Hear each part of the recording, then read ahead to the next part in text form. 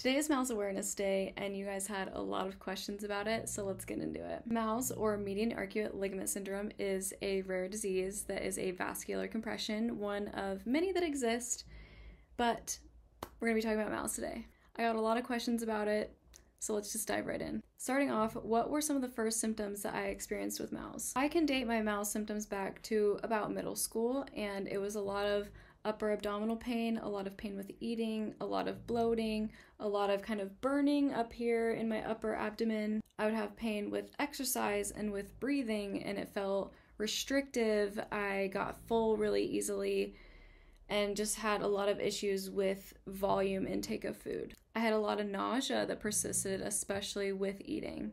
A lot of people can get vomiting. I didn't. I don't, even with my other vascular compressions, but that can be a common symptom. How did I bring MALS up to my doctor? So, actually, I didn't have to bring MALS up to my doctor. I told my GI, mind you, this was like my fourth GI. I told him about my symptoms, and he said, Actually, this sounds like a MALS case. And I was like, What is that? Like, I had genuinely never heard of it. I'm so thankful that he at least knew about it and kind of recognized my symptoms but that is actually very rare for that to happen, and most people have to bring it up to their doctor. So, I recommend, and I've done this with other things that's not not MALS. I recommend saying, you know, these are my symptoms. I have read about this, and it seems like there's a big overlap in the symptoms that this has and the symptoms that I have. What can we do to rule this out?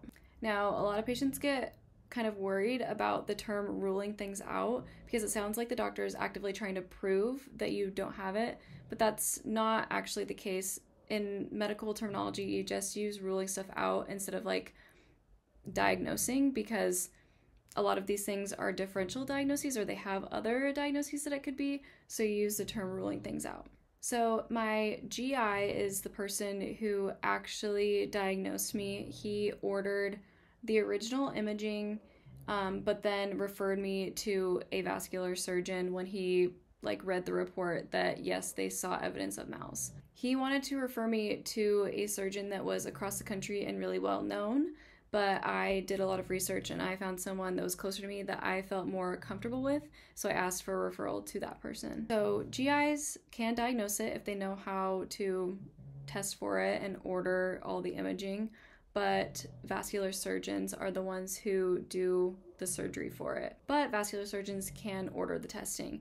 And now that I think about it, my celiac plexus block, which is what's used to basically confirm the diagnosis and confirm that surgery will be beneficial to you, my vascular surgeon is the one that ordered that. So my GI ordered the Doppler ultrasound with breathing protocols and the CTA with breathing protocols, which goes into the next question of how the heck is this diagnosed? That I think is like the most asked question. So there's three kind of um, like gold standards for diagnosing MALS. So the first one is a Doppler ultrasound of the celiac artery with breathing protocols. So this means that they are doing the ultrasound of your artery. They're measuring the flow velocities while you are inhaling and holding and then exhaling and holding. And that is because when you breathe, there are, you know, your ligaments and your arteries are flexible. So when you exhale, then it's going to make the artery move a certain way. And when you inhale, it's going to make your artery move a certain way. So the general rule for diagnosing is if you have expiration velocities of over 200 centimeters per second. Some radiologists or doctors will also interpret this into a percent compression, like basically how compressed your artery is. I never got any percent compression on any of my reports, and I just kind of forgot or like didn't care to ask because I was getting the treatment anyways. So I never got a percent compression. But in the diagnostic criteria, you have to be at least 70% compressed um, to be like diagnosed, and most surgeons won't do surgery without at least a 70% compression. So when I got the ultrasound done, I did have elevated velocities. So that was evidence for existing MALS. And then I got the CTA, CT angiogram, where they also use breathing protocols. So they take an image of just like you being normal and then one of you inhaling and exhaling. And that shows the actual flexibility of the artery and it can show the impingement basically of the artery. Now, sometimes on CTAs, you can see what they call the classic J hook.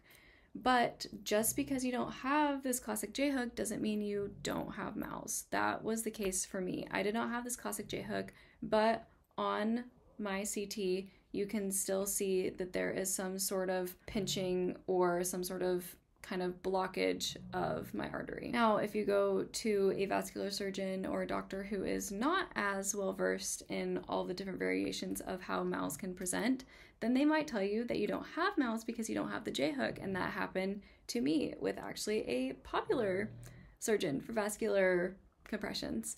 Um, he told me that I don't have MALS or that I didn't have MALS because I didn't have this classic J hook. Um, thankfully, I got a second opinion and got a celiac plexus block ordered, which got rid of my pain. And then I had surgery, and now my MALS has been in remission for over a year.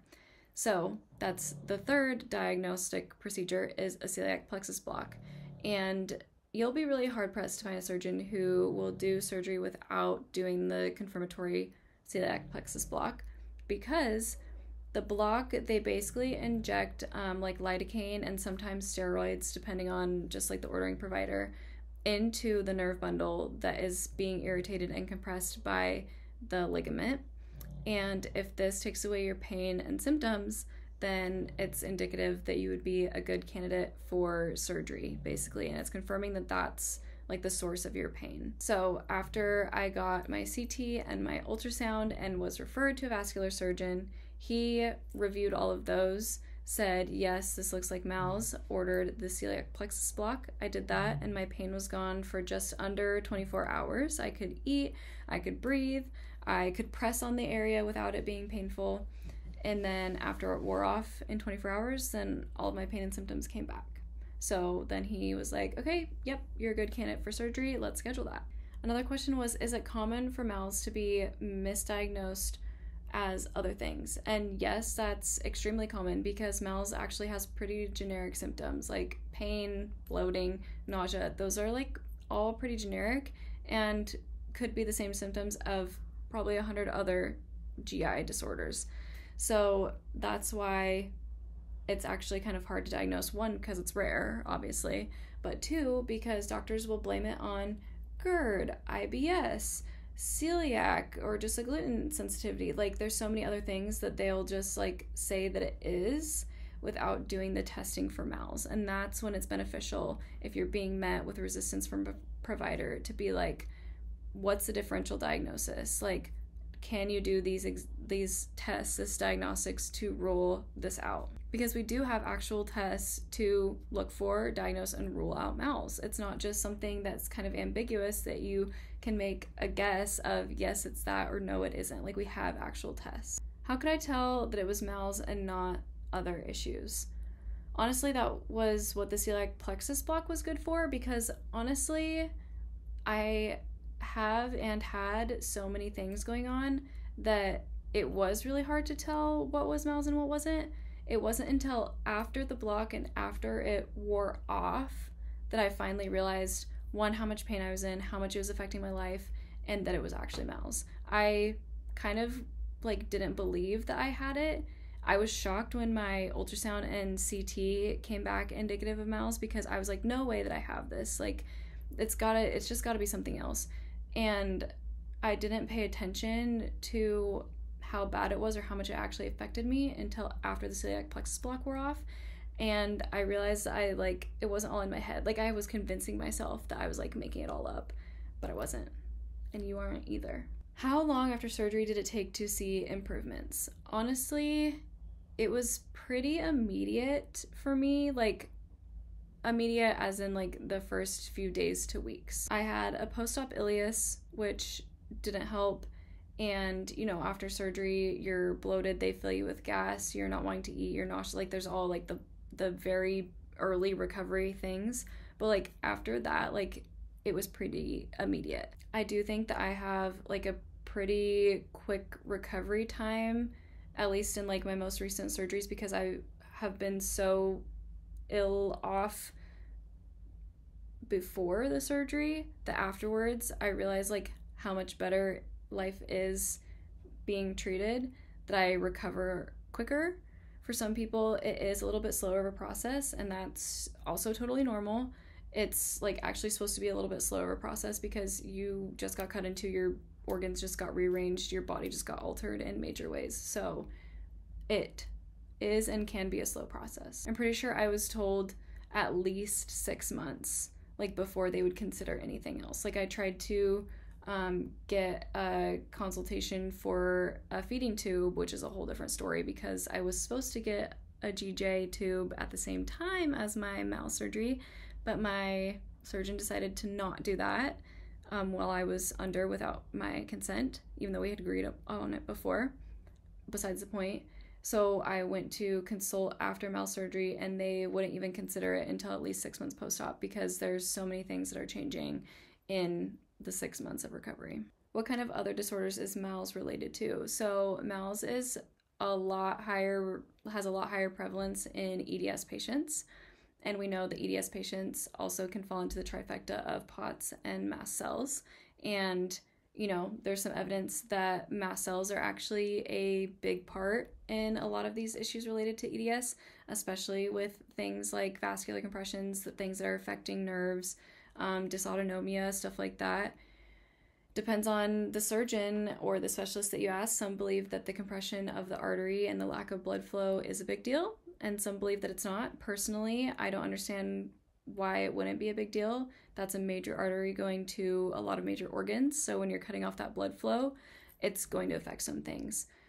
I was diagnosed with exocrine pancreatic insufficiency and was getting some chronic pancreatitis before my MAL surgery.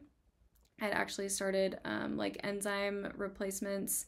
I totally have even forgot what they're called now and was looking into doing a total islet cell transplant. I was consulting and about to go through like the preliminary testing for that because my pancreatic insufficiency was becoming a lot worse.